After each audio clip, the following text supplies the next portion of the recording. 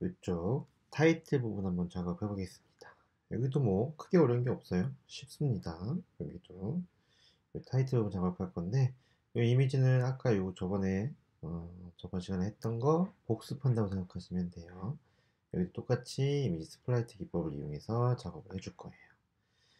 그러면 저번 시간에 이어서 이쪽에 컨텐츠 타이틀 여기다가 작업을 하시면 되겠죠. 이쪽에 15번 작업하시면 될 것 같고요. 그러면 다시 서버에 들어오셔서 저는 연속으로 찍어서 어, 로그인이 되어 있지만 또 오늘 오랜만에 들어오신 분들은 이, 저번에 이어서 바로 안 들어오시고 며칠 뒤에 들어오신 분들은 로그인을 해주셔야겠죠. 서버에다가 작업을 해주시면 되겠습니다. 그래서 이 안에 있는 콘텐츠들은요 금방 끝납니다. 마지막에 이제 스크립트 부분이 좀 시간이 오래 걸릴 수 있고 로그인 부분 시간 오래 걸릴 수 있는데 여기 안에는 틀 한번 잡아놓으면 뭐 금방 해요. 뭐 크게 어려운 게 없습니다. 해보시면 알겠지만 그래서 이쪽에다가는요 어, 타이틀 하나 만들어주고 H2 이용해서 여기다가 뭐 나는 publisher다 뭐 이런 식으로 써주겠죠. 큰 따옴표 써서요. 이렇게 이렇게 하나 해주시면 되고요. 오른쪽 버튼은요 그냥 A 태그 이용해서 여기다가 A 태그 이용하신 다음에 클래스는 btn 이렇게 만들어 주시면 되고요. 이쪽에는 뭐 전체 메뉴라고 작업해 주시면 될 거예요. 저번 시간에도 얘기했지만 이미지를 표현하는 방법은 두 가지가 원래 있다고 했죠? 두 가지가 있는데 저 버튼은 의미가 있기 때문에 img 태그로 표현하는 게 맞아요. 왜냐면 alt 태그가 있어야 되지 대체 문자를 표현할 수 있거든요. 웹 표준의 가장 기본은 이미지가 없을 때 대체 문자가 나와야 돼요. 그래서 이게 이걸 맞는데 대부분 사람들이 이제 백그라운드가 편하니까 백그라운드 속성을 쓰기 시작했어요. 근데 이거는 쓰면 웹 표준 alt 태그를 못 쓰니까 웹 표준 준수할 수가 없죠. 그래서 가상으로 대체 문자를 만들어 준 거예요. 어?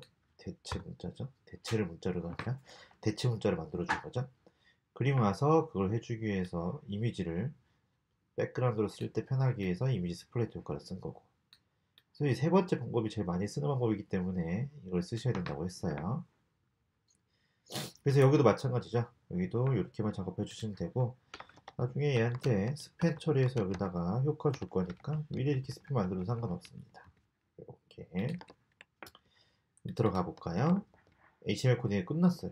이렇게 하시면 되겠죠 스타일에 가서 이쪽에다가 어, 작업을 해주시면 될 거예요. 여기 가서 여기는 타이틀이라고 작업해주면 되겠죠. 타이틀 타이틀 이렇게 작업해주시면 될 거예요. 그래서 하다가 의미 가는 거나 이상한 거 있으면 저 이걸 다른 막 이렇게 중간중간에 막 혼합해서 찍어가지고 흐름을 저는 참 기억이 안 나요. 흐름이 끊겨가지고 이거 하나만 계속 쭉 타해가지고 뽑아가지고 딱 올려야 되는데 그게 아니라서요.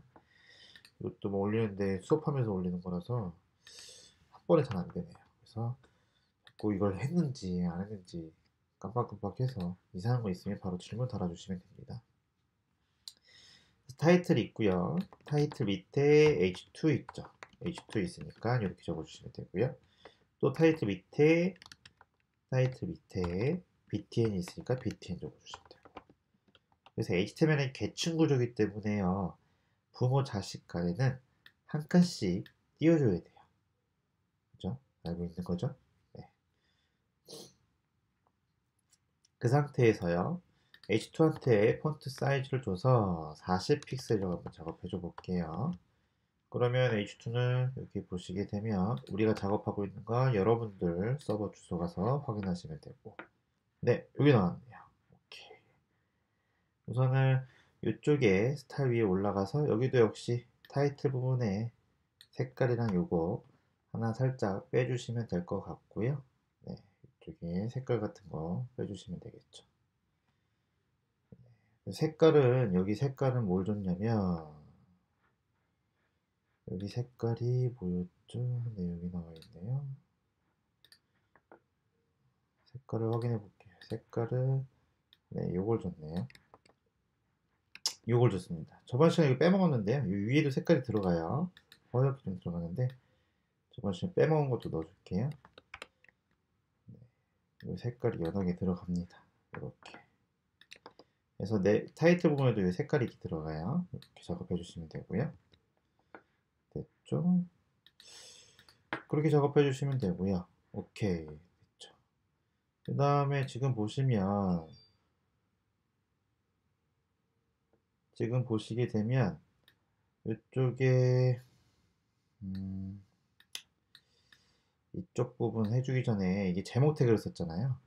저 같은 경우는 어, 보통 제목 태그를요 다 이게 틀리게 써줘서 좀 초기화를 시켜줍니다. 제목 태그를 초기화 시켜줘요.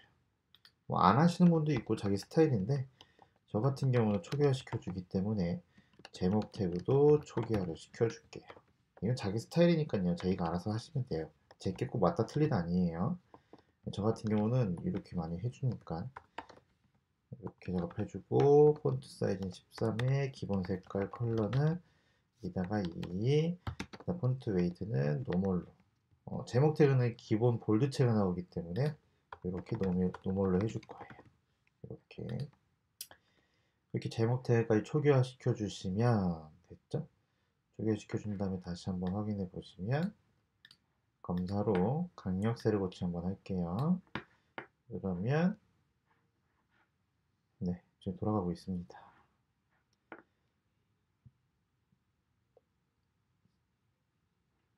네, 초기화가 됐습니다. 여기 보시면 얘도 아까 두꺼우면 다 얇아졌죠? 네, 얇아졌어요. 이렇게 초기화를 시켜줬고요. 음, 네, 나머지도 초기화 시켜줬죠. 네, 이렇게 이렇게 하시면 될 것 같고요. 네, 이쪽은요 구글 폰트를 써서 얘 같은 경우는 브러쉬로 해줄 거예요.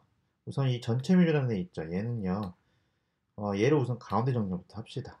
네, 스타일을 가서 여기다가 H2 블록 구조이기 때문에 얘를 좀 가운데 정렬을 해줘야 될 것 같아요.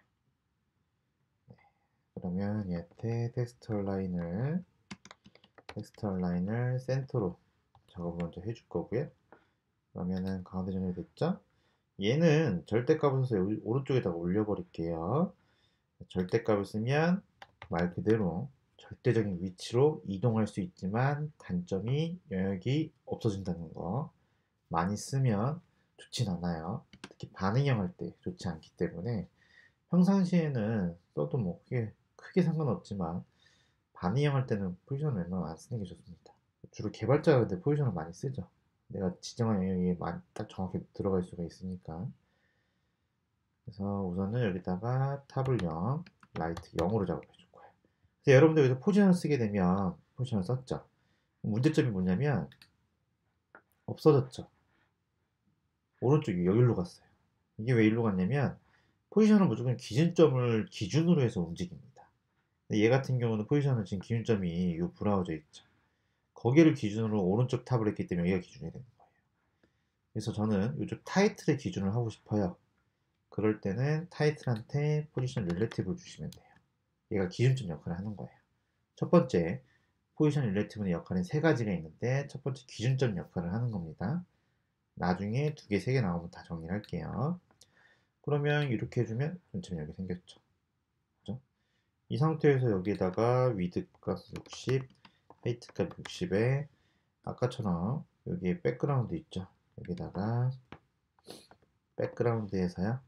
URL에서 현재 파일이 지금 스타일이니까요. 한번 올라갔다가 IMG 태그로 가야 되거든요.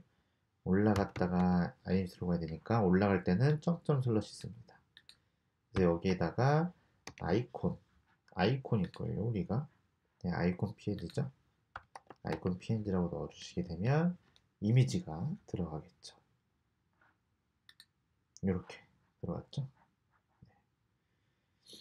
하는 김에 여기까지 다 해줄까요? 들어왔으면 그 상태에서 얘도 background로 위치 조정을 해줘야 됩니다. background로 위치 조정을 해줘야 되니까 우선 여기다가 한 번만 나오게 no-repeat 시켜줄 거고요. Y축으로 마이너스 600 px 해주시게 되면 아마 나올 거예요. 네. 제가 어딨냐면 이쪽에 보시면 요거죠. 요거거든요. 요거. 그래서 요거를 지금 우리가 화면을 60, 60에서 요만큼만 보이겠기 때문에 저, 저기까지 올려야 돼요. 그래서 하나가 60픽셀이라서 셋, 넷, 다섯, 여섯, 일곱, 여덟, 아, 웰칸이니까 600픽셀 정도 올려야 돼요. 그래서 마이너스 600이 된 거예요. 그리고서 확인해 보시면 됐죠? 그래서 이 글씨는 백그라운드를 넣었으니까요. IR 효과를 줘야 되겠죠? 그래서 이 글씨는 클래스 IRPM이라고 넣어주시게 되면 글씨는 시각 리더기로는 보이지만 우리 눈엔 사라지는 효과가 생기는 거죠. 네, 이렇게 된 거죠. 음. 네, 잘 되고 있습니다. 그 상태에서 여기까지 됐고요. 살짝 간격을 좀 줘야 될 것 같아서 간격을 padding을 위아래로 5-0을 주겠습니다. 네. 그리고 글자 글자와 사이에 간격을 줄 때는 letter-spacing을 쓰시면 돼요. 그래서 letter-spacing을 줘서 간격을 살짝 조정해 줄 거고요. 이렇게 해준 다음에 확인해 보시면 네 이런 식으로 됐죠. 버튼이 위에 기준점이 되어 있으니까 좀 내려와야 될 것 같아서 버튼한테 탑으로 한 5px 정도 이 정도 주시면 살짝 내려왔죠. 그리고 글씨 색깔 얘한테는 글씨색을 EC94 94C4 이렇게 작업해 줄 거예요. 이렇게 그리고 나서 확인해 보시면 네 됐죠. 마지막으로 이제 구글 폰트 써서 웹 폰트 쓸게요. 웹 폰트 써서 나눔 브러쉬. 이쪽에 가시면 코리아에 한국어가 있거든요. 이거 클릭하신 다음에 나눔 브러쉬. 이거 말고. 네 요거. 이거. 추가해 주신 다음에 요거 링크 넣어 주시면 되겠죠 이거. 링크를 이쪽에다가 살짝 넣어 주시면 될 거예요. 네 웹폰트 쓴 데 있죠? 여기다가 넣어 주시고 그 다음에 font-family만 살짝 설정해 주시면 폰트 패밀리는 H2 이쪽이죠 H2 여기다가 설정해 주시게 되면 얘는 자 완성이 됐죠. 그래서 타이틀 부분은 이렇게 작업하시면 됩니다. 이렇게 간단하죠? 사실 이거는요 몇 글자가 안 되기 때문에 차라리 이미지로 넣는 게 훨씬 좋아요. 저 웹폰트 쓰게 되면 훨씬 더 용량도 이게 자주 쓰는 게 아니라면 디자인적인 요소라면 그냥 그렇게 한 번만 해주는 게 좋은데 저희는 뭐 그냥 간단하게 하는 거니까 그걸 신경 안 쓰고 그냥 해준 겁니다. 네. 여기까지 되셨죠? 잘 따라오고 계시죠? 그러면 다음은 배너 영역 작업 들어갈게요. 수고하셨습니다.